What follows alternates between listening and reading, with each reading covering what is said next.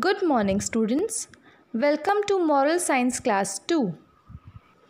Today I will discuss some important moral values such as punctuality, obedience, cleanliness, honesty, truthfulness, and kindness.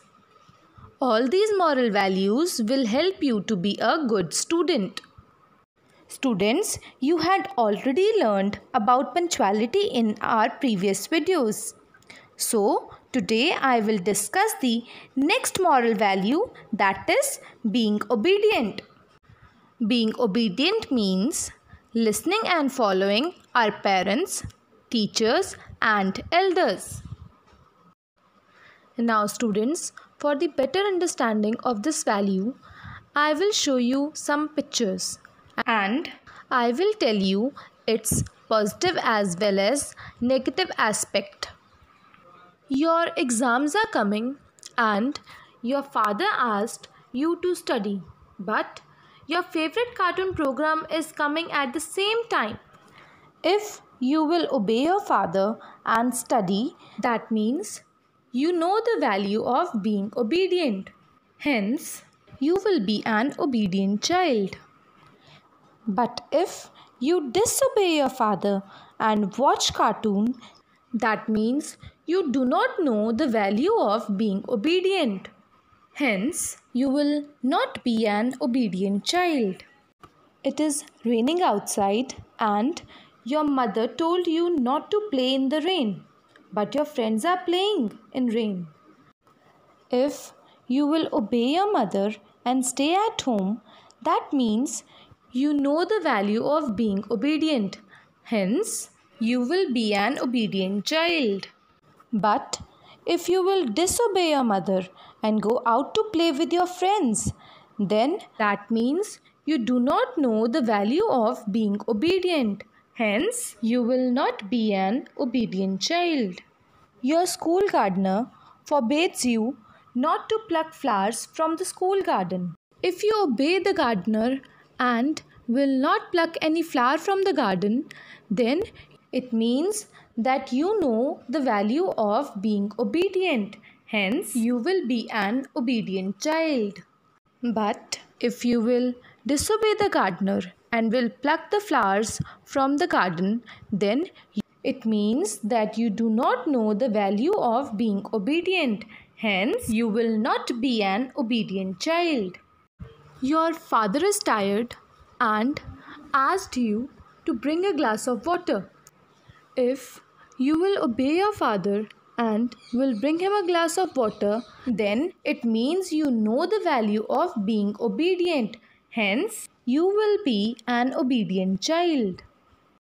But if you will disobey your father and will not bring him a glass of water, then it means you do not know the value of being obedient. Hence, you will not be an obedient child. Your mother is busy in the kitchen and wanted you to help her. If you will obey your mother and will help her in the kitchen, then it means you know the value of being obedient. Hence, you will be an obedient child. If you will disobey your mother and will not help her, then it means that you do not know the value of being obedient. Hence, you will not be an obedient child. It is late at night and your father advised you to sleep at 9 o'clock, but you want to watch TV. If you will obey your father and will go to bed at 9 o'clock, then it means that you know the value of being obedient.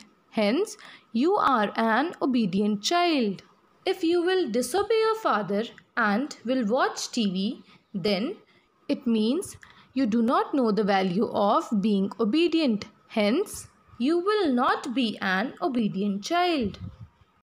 Now, next is source of inspiration. In this, I will tell you about some great people who are the example of being obedient as they have spent their whole life obeying their parents, teachers and elders. Now students, look at this picture. And guess who is he? He is Shravan Kumar. He is well known for being an obedient son as he served his parents till his last breath. Now, look at the next picture. Guess who is he? Yes, he is Lord Ram. He spent 14 years in exile so as to obey his father. So, we should also learn to be obedient. Now, students, look at the next picture. Our next source of inspiration is Chandragupta Maurya. He was a great king and a great student as well. Throughout his lifetime, he obeyed his teacher and worked according to his teacher's instructions. Students, I hope you understood this value well.